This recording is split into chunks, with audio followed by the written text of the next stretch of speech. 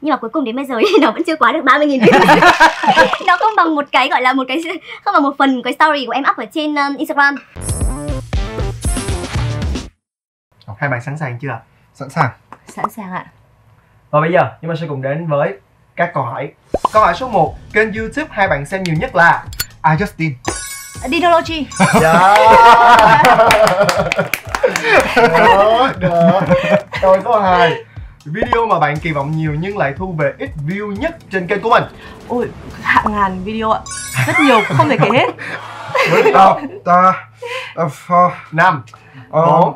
rất nhiều video thật sự là rất nhiều Rất video. nhiều. dạ ok chúng ta mình sẽ hỏi rất nhiều video đó là có video nào đặc biệt nữa hay không nhá. Câu tiếp theo một video mà bạn ước rằng mình chưa từng public trên kênh của mình. Vũ đi nào.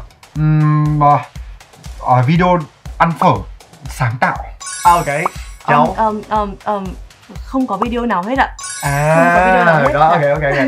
Câu tiếp theo. Nếu hai bạn được đổi vai trò cho nhau một ngày thì video mà bạn sẽ thực hiện để đăng lên kênh youtube của người kia là gì? Đi đâu um, uh, bí quyết để trở thành một youtuber từ xuất thân là fashionista. Ôi trời ơi. Ok. Công kênh. Rất không một bài trả lời có phần còn kề nhưng không sao chúng tôi cũng hiểu được ý của bạn. Tiếp tục mời châu. Um, một ngày châu bùi không phải làm gì và Dido sẽ nấu ăn từ sáng đến tối cho châu bùi. À, tuyệt vời. Và bây giờ tiếp tục. Một bình luận tiêu cực trên kênh youtube của mình mà hai bạn ghi nhớ sâu sắc nhất châu. Um, giọng châu chua lết. Đi đâu uh, ông này làm gì có tài cán gì chỉ dùng tiền để làm youtube. Wow. À, ok. Và bây giờ sẽ là câu hỏi riêng dành cho Dino. Hãy chọn ra một content creator bạn thích nhất giữa những nhà sáng tạo sau Giang ơi, gia đình Cam Cam, Châu Bùi của em Trendy và Ninh Tito. Uh, nếu mà để trả lời thảo mai thì sẽ thích tất cả còn nếu mà để trả lời không thảo mai thì nghĩ rằng là mình thích bản thân mình nhất.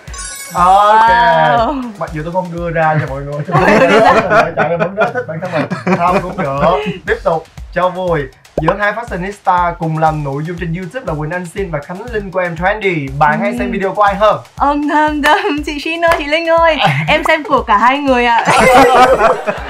Ok như vậy là các bạn đã hoàn thành xong được phần câu hỏi hỏi nhanh đáp gọn của chúng ta trong chương trình ngày hôm nay. Vỗ tay ạ yeah, rất là thoải mái và nhiều năng lượng. Wow. wow. mình quang huy thoải mái thôi.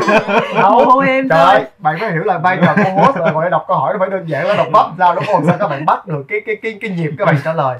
Đừng phải tập trung dữ lắm bây giờ thì mình à, mổ xẻ một tí xíu về một vài câu trả lời của các bạn đi ha. Dạ. Hai bạn đều trả lời là có rất rất nhiều những video các bạn đã chia sẻ ở trên kênh của mình mà lượt view thì không như các bạn kỳ vọng. Dạ. Ừm, nếu mà gọi là một cái các bạn nhớ nhất nha mà các bạn, kiểu như là, tức thì là tức là tại mình kỳ vọng rất nhiều nhưng mà cuối cùng là không được, thì đó là video nào một cái thôi.